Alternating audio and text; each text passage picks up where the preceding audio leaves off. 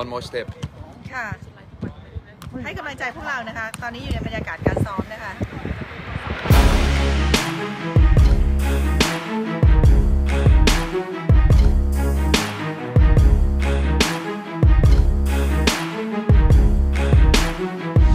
Madam Peng sebut skuad Garuda adalah musuh yang menakutkan. Laga sengit Indonesia versus Thailand demi perebutan tiket menuju ke final SEA Games 2021. Ya, Indonesia dipastikan akan melawan Thailand U23 demi merebutkan tiket melaju ke final SEA Games 2021. Hal ini dipastikan usai Thailand mengukuhkan diri menjadi pemuncak klasemen grup B SEA Games 2021.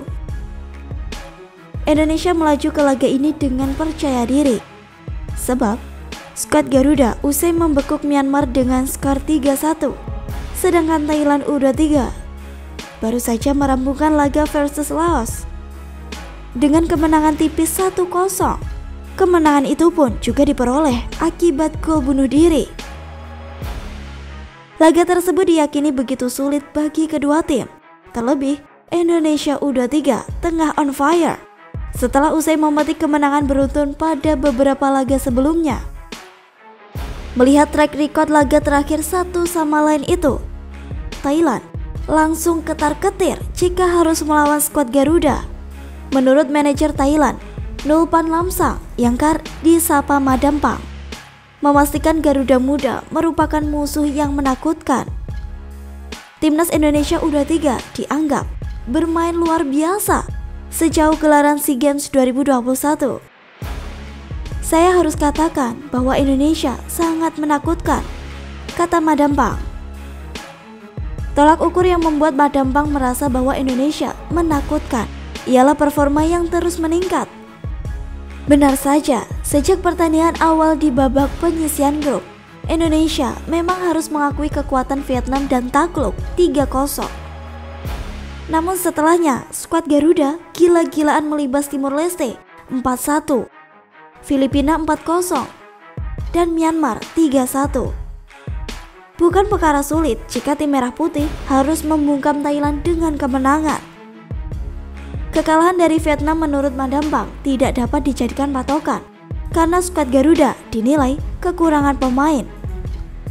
Ya, memang tim besutan Sinteyong tidak turun dengan skuad terbaiknya alias belum full tim.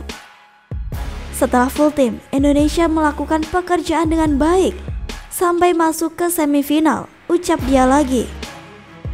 Baru setelah itu, Egi Maulana Fikri dan kawan-kawan mampu untuk unjuk gigi dengan menyapu bersih laga sisa dengan kemenangan. Meski sejatinya timnas U23 Indonesia juga tidak bisa dibilang full team karena masih ada beberapa pemain yang absen. Lebih lanjut Madampang memprediksi laga melawan Indonesia akan menjadi pertandingan yang sulit bagi timnya. Kendati demikian, ia mengaku senang karena timnya memiliki satu keuntungan jelang pertandingan tersebut. Keuntungan yang ia maksud yakni Thailand tidak perlu berpindah tempat. Sebab laga tersebut bakal digelar di Stadion Tintro.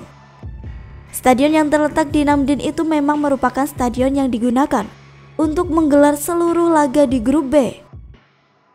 Sedangkan Indonesia yang memainkan semua laga grup A di Stadion Fitri Puto tentu harus melakukan perjalanan ini pertandingan yang sulit, tetapi hal baiknya adalah kami dapat terus bermain di stadion yang sama.